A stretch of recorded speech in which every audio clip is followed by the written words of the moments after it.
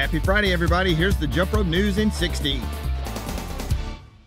Judges ready, jumpers ready.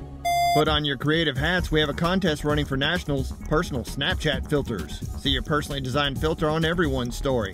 You can create and submit as many of your own Snapchat filters as you want, and the Jump Rope Advisory Board will vote and choose the best ones. Deadline to submit them is Friday, June 1st. We've got board elections coming up. Be on the lookout for the announcement soon. The election starts June 7th, and your nominations need to be in by June 2nd. You can still order National Spectator Passes online. Your deadline to order is June 1st. I made a pretty important 30. announcement a few days ago. Not going to tell you here because you need to go check out the Jump Rope News in 30 posted on the USAJR Facebook page. Don't forget, you can purchase daily shuttle passes online under the 2018 National Competition tab on the website. Your deadline to order is also June 1st. Don't forget to sign up for the Nationals camp. Your deadline to register is when? Yep, June 1st, and the theme is Crazy Socks. And we're looking for people to sing or play the national anthem at Nationals this year. It can be a solo act, group, or an army if need be. Deadline for sign up is June 8th.